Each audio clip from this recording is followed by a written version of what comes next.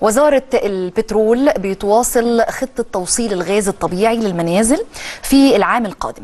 بتعتزم الوزارة توصيل شبكات الغاز لأول مرة في مدن وفي مناطق جديدة ضمن مبادرة مبادرة التقسيط الميسر لتكلفة التوصيل وبدون مقدم أو فوائد.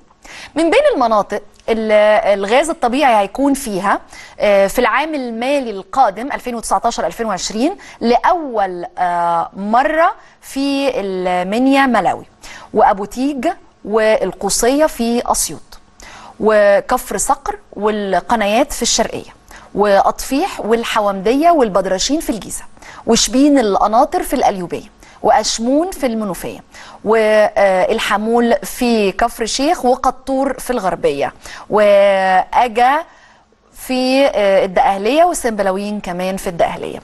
وزي ما البيانات في وزارة البترول بتقول آه، إنها قدرت من إنها توصل الغاز الطبيعي لحوالي مليون و176 ألف وحده سكنية في الفترة من يوليو 2018 لحد الشهر اللي جاي في أول الشهر اللي جاي.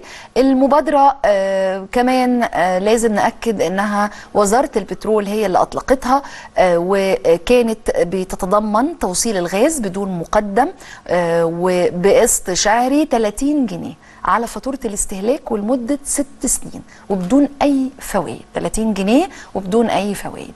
في نفس السياق بتعتزم وزارة البترول إنها تستخدم عدادات الغاز الطبيعي مسبوقة الدفع وده لأول مرة. وهتبدأ في التعامل بيها بشكل تجريبي. آه، بشكل تجريبي قبل نهاية السنة دي قبل 2019 ما تخلص. في وحدات الإسكان الاجتماعي بشاير الخير واحد واثنين في اسكندرية الأسمرات في القاهرة بإجمالي 20 ألف آه، عميل كوسيلة علشان تتأكد من آه، كفاءة العمل للمنظومة دي. خلينا نشوف الموضوع آه، مع آه، المهندس آه، ياسر بهنس رئيس شركة تاون جاز ونعرف أكتر إيه المعلومات اللي ممكن إن إحنا نستفيد منها بالإضافة للي تم ذكره في الخبر اللي معانا اللي جاي حسب بيانات وزارة البترول. برحب بحضرتك يا فندم في البداية. أهلا وسهلا استاذه. ريهام. أهلا بيك واهلا وسهلا بالسادة المشاهدين من على قنوات السي بي سي. شكرا يا فندم. وهبدأ مع حضرتك بمعرفة حجم الإقبال من المواطنين آه، علشان يستفيدوا من المبادرة اللي إحنا ذكرناها دلوقتي وقلنا محتواها إيه آه،. وطبعا هي خاصة بتقسيط تركيب الغاز آه، الطبيعي.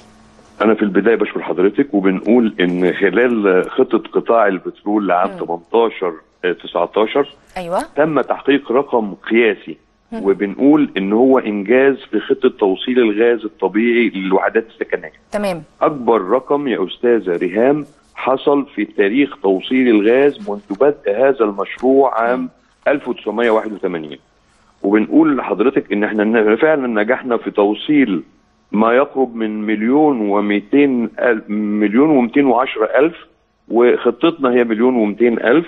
ده راجع لإيه؟ راجع ل- للمتابعة الجيدة والمستمرة لمعالي وزير البترول وحثه في جميع لجميع شركات توصيل الغاز بتكثيف الأعمال وتلبية احتياجاتهم من معدات وزيادة فرق عمل أيوة. وتأهيلها للاشتراك في هذه الملحمة.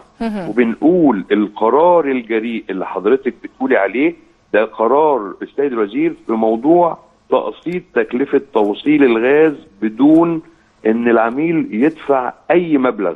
تكلفة توصيل الغاز يا أستاذة ريهام بتتقسط على مدار 72 شهر وبمبلغ 30 جنيه على فاتورة استهلاك الغاز.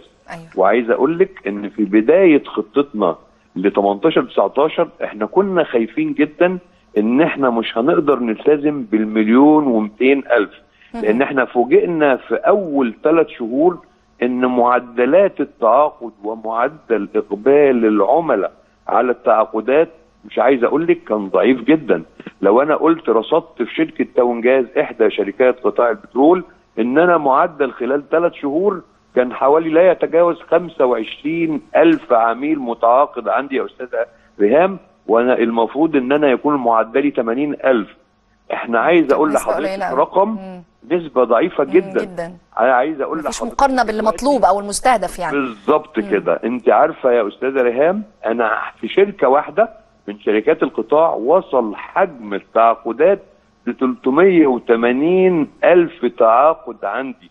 والحمد لله شركة تاون جاز آه، كان في التزام ومتابعة وتنفيذ لبرنامج طموح لمعالي الوزير. ووصلنا ما يقرب خلال هذه الخطة لحوالي 320 ألف وحدة سكنية أيوة. وعندنا بقب من التعاقدات بنستكمل بيهم خطتنا وبنقول إن الخطة بتاعت خطة قطاع البترول هي خطة طموحة بندخل فيها لجميع المناطق اللي لم يتم توصيلها بالغاز وبنقول إن الخطة إن شاء الله زي ما حضرتك اتفضلتي وقلتي إن أنا عندي في 19 20 مكملين خطتنا وبنوصل لمليون و200 ألف عميل تمام وداخلين لحوالي ما يقرب إحنا بس كشركة من الشركات من 14 شركة شركتنا داخلة ل 33 منطقة تمام. جديدة طيب آه أيوة، آه اتفضل. دلوقتي آه، يعني بشكرك طبعا الرسالة وصلت آه دلوقتي تطبيق استخدام عدادات الغاز مسبوقة الدفع ممكن آخد فكرة آه سريعة عنها إزاي هيتم طبعاً. شحنها يعني هي شبيهة بفكرة آه. عدادات الكهرباء مثلا بالظبط بالظبط كده هي نفس الفكرة وإحنا الفكرة بتاعتنا يعني برضو هي بتوجيهات معالي الوزير لأنه مم. لمس المشاكل العملاء أيوة. مشاكلنا كدولة في عدم تحصيل مستحقات الدولة عن استهلاك غاز.